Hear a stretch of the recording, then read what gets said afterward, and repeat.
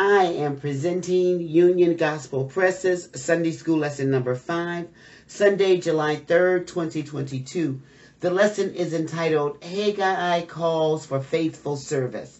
Lesson text comes from Haggai chapter 1, verses 1 through 11. Related scriptures are Leviticus 26, 14 through 45, Deuteronomy 28, 15 through 51, Romans 8, 28 through 39. The place is Jerusalem. The time is 520 BC.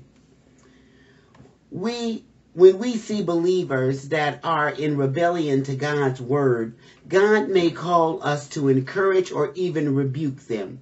That was the case with Haggai.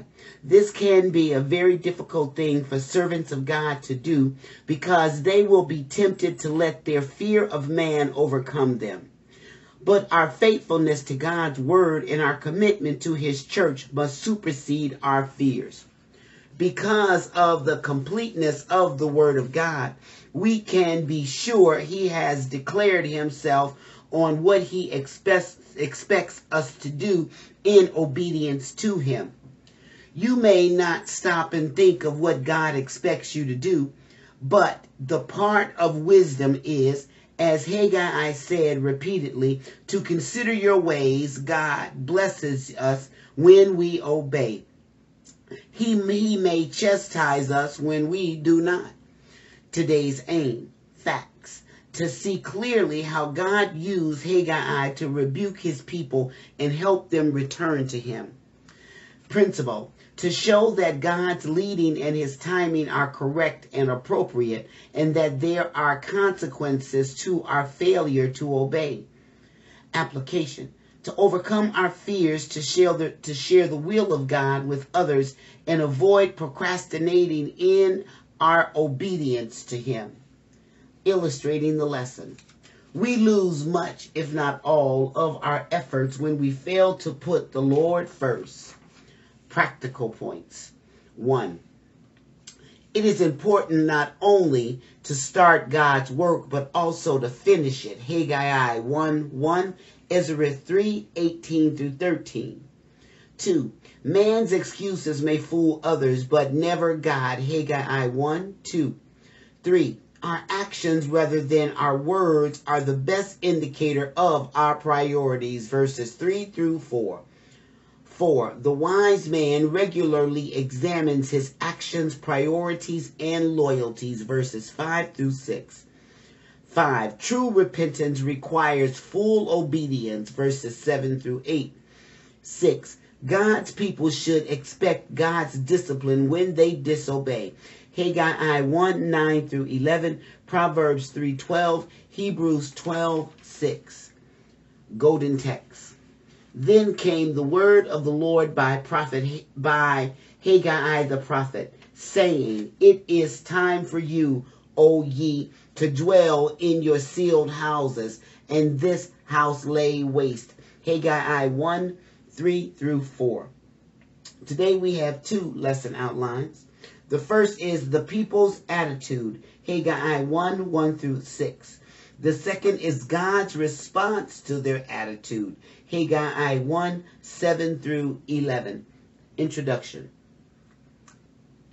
Chuck Swindoll relates in C.S. Lewis in the Screwtape letter says that one day Satan and his imps were planning their strategy. One demon said, I've got a plan, master. I'll tell them there's no heaven. The devil responded, Ah, they'll never believe that. This book of truth is full of messages about the hope of heaven through sins forgiven. They won't believe that. They know there's a glory, a glory yet future. On the other side of the room, another says, I've got a plan. I'll tell them there's no hell. No good, he says. Jesus, while he was on earth, talked more of hell than of heaven. And one brilliant little imp in the back stood up and said, Then I know the answer. I'll just tell them there's no hurry. And he's the one Satan chose. The people's attitude. Haggai 1 1. Then in the second year of King Darius, the sixth month, in the first day of the month, came the word of the Lord by Haggai the prophet unto Zerubbabel, the son of Shealtiel, governor of Judah, and to Josiah, the son of Josadak, the high priest, saying, verse 2 Thus speaketh the Lord of hosts, saying, The people say, The time is not come, the time that the Lord's house should be built. Verse 3 then came the word of the Lord by Haggai the prophet, saying, verse 4 It is time for you, O ye, to dwell in your cieled houses, and this house lay waste. Verse 5 Now therefore, thus saith the Lord of hosts, consider your ways. Verse 6 Ye have sown much, and bring in little. Ye eat, but ye have not enough. Ye drink, but ye are not filled with drink ye clothe you, but there is none warm, and he that earneth wages earneth wages to put it into a bag with holes. A false view of timing. Haggai 1 1 through 2. As we discussed last week, Judah had been taken captive by Babylon in 586 BC, which was the last of three deportations. Eventually, there were three returns, with the first being led by Zerubbabel, accompanied by the priest Jos- jo- Josiah. For these two leaders, the first priority was the reestablishment of the worship of Yahweh, Ezra 3. Their ritual project was the rebuilding of the temple in Jerusalem. When the foundation had been laid, there was a mixture of emotions, with great joy in some and some sadness in others. Verses 12 through 13. It was only a short time until the opposition from local enemies began. Eventually, following correspondence between these adversaries and King Artaxerxes, the construction work on the temple ceased. Ezra 4:24. It was not until the coming forth of the prophets Haggai and Zechariah, some 16 years later, that the work began once again and the temple was completed. 5 1 through 2, 6 14 through 15. Our lesson text from the book of Haggai somewhat parallels last week's text and shows us how Haggai boldly motivated God's people to complete the work began many years earlier. In this brief book, we find four messages from the prophet, with this week's text being the first. It was the sixth month of, of Darius' second year. As we learned last week, it was after Darius' approval of the building of the temple finally allowed the Jews to finish God's work. This approval this approval allowed the people to continue with with Haggai what Haggai had encouraged. God worked through through Darius and now he would work through Haggai to bring his people to repentance. Haggai's challenge had begun with the quotation of an assertion made by those who were living in Jerusalem and not doing anything about the temple. Haggai specifically addressed Zerubbabel, the civic, the civil leader, and Josiah, the high priest, pointing out that the people were using excuses for not getting back to the building project. They were claiming the timing was not yet right for doing so. Haggai made it clear that the message from God held a divine rebuke of his people and showed his displeasure with them. Five times we read in this book that the word of the Lord came to his people. This was the first time a message had come to his people through a prophet since their return from the Babylonian captivity. A question about their timing. Haggai 1 3 through 4. It is not amazing that some people attribute their lack of action to God's leading. When the people said it was not yet the right time to work on the temple, they were in reality using somewhat pious sounding reasoning as an excuse for their unwillingness or laziness concerning the temple. The truth was that they had replaced the priority of God's work with personal preferences regarding their own projects. God's work had taken second place to their own desires. In reality, many of the people had little time for the things of God. Moreover, in the following verses, Haggai related that, that they selfishly would rather spend their money on lavish homes than the house of God. They showed no commitment to spiritual things. What they had decided upon their return, namely the priority of the worship of God above everything else, had been squelched because of the opposition they had faced. Haggai was now challenging them to rethink their priorities. While they claimed the time was not right for the working of the temple. They were at the same time building themselves lavish homes. Haggai presented a question that, like the statement he had just uttered, had come from the Lord of hosts. It is time for you, O ye, to dwell in your cieled houses, and this house lay waste. Haggai, Haggai 1 4. The key word is cieled. The Hebrew word refers to interior paneling such as wainscoting, that is, wooden panels lining the walls of the rooms of their houses. Paneled houses were evidence of luxury. Keil and Delitzsch commented with this question the prophet cuts off all excuse on the ground that the circumstances of the time and the opposition under which they suffered did not permit of the building of the temple. If they themselves lived comfortably in wainscoted houses, their civil and political condition could not be so oppressive that they could find it that a sufficient excuse for neglecting the temple to build the temple. A challenge to rethink their timing. Haggai 1 5 through 6.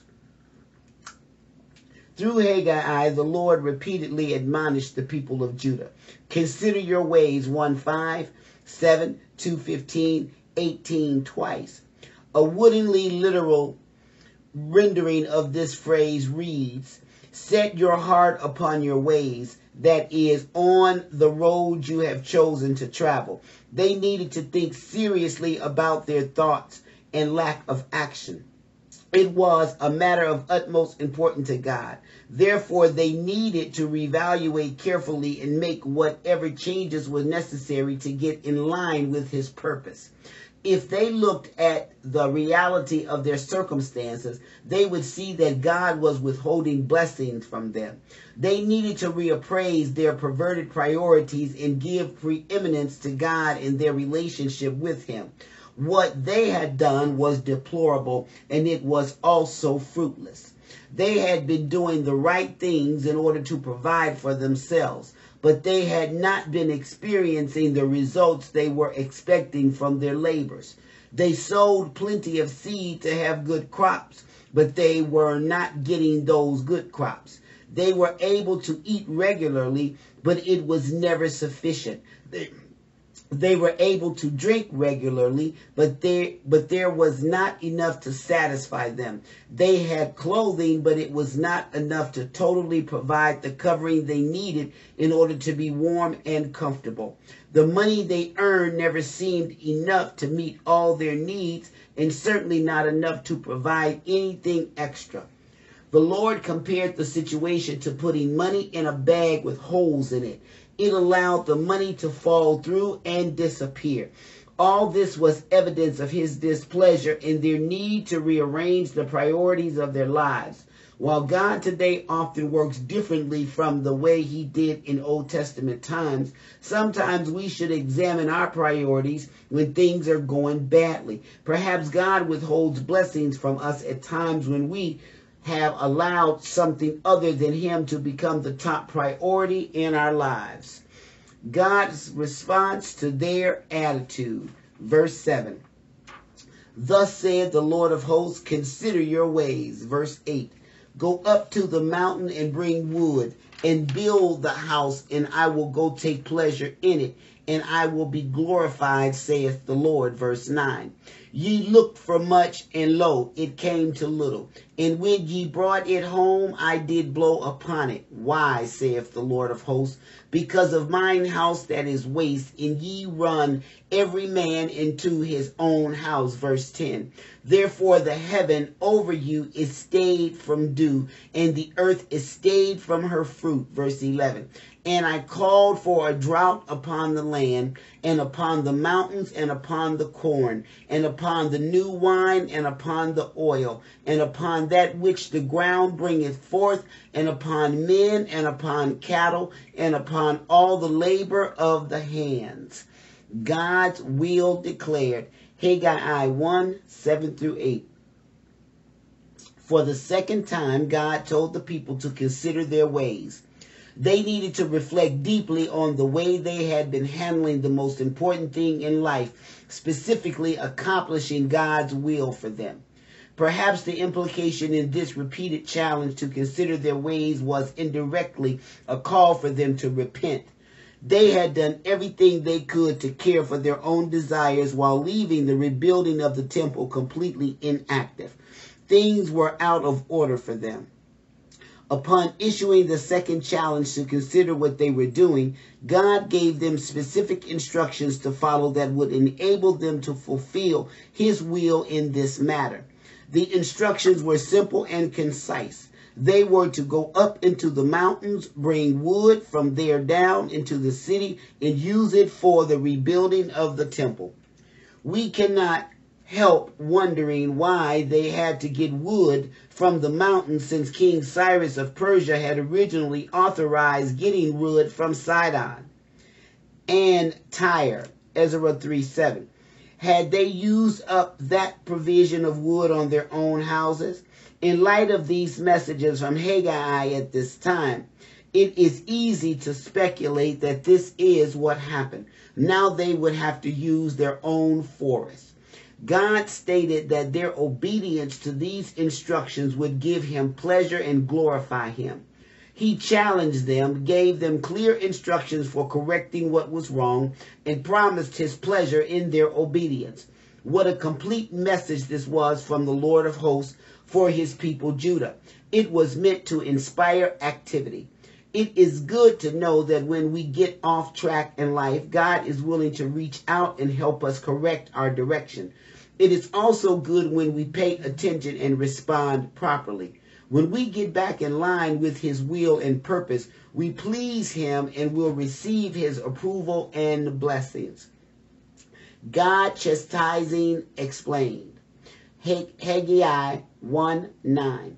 We often find it easier to adjust our lives to God's will when we can understand exactly why we need to change things and what is expected of us. Sometimes we sense God leading us in a direction without giving us clear indications as to why he is doing so. That requires a deeper level of faith on our part.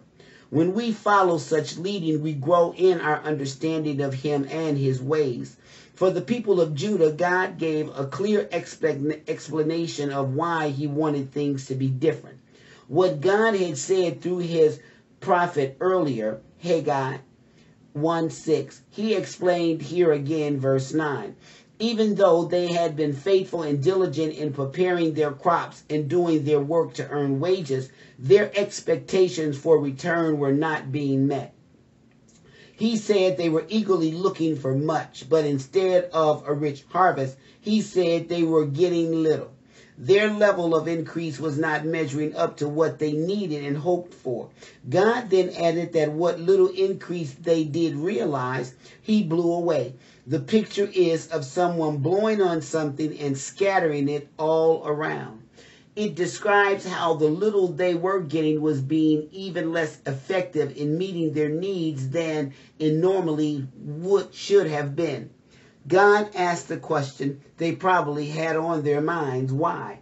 He answered by stating clearly that the reason he was actively moving against them was the ruined condition of his house. There is an empathetic contrast between the house of the Lord that lay in ruins and the busyness of the people in caring for their houses. God left no room for doubt about why he was withholding his blessings upon these people. They had put all their attention and effort into their own houses while neglecting his. It was clear that their only course of action was to get busy on the temple.